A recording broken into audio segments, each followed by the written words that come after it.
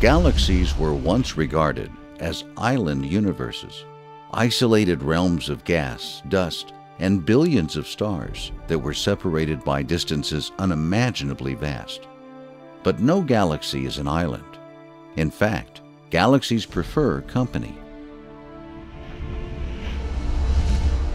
In his book Pale Blue Dot, astrophysicist and writer Carl Sagan opens chapter 22 titled tiptoeing through the Milky Way, with another oath from the Quran, verses 75 and 76, chapter 56. I swear by the shelters of the stars a mighty oath, if you but knew it.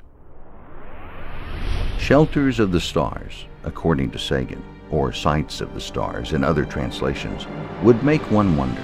Those descriptions of the gatherings of the stars in the cosmic structure Aren't they most fitting to what cosmologists identify today as the star clusters and star superclusters? One would further ponder aren't these clusters exactly the knots and nodes referred to in every description of the cosmic web?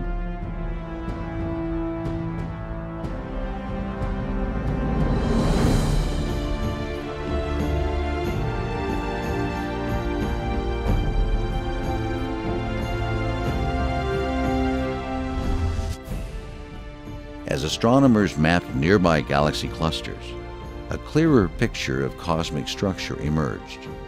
Galaxy clusters gathered in superclusters, overlapping other superclusters to form chains, and filaments spanning huge swaths of the sky. Welcome to the Cosmic Web.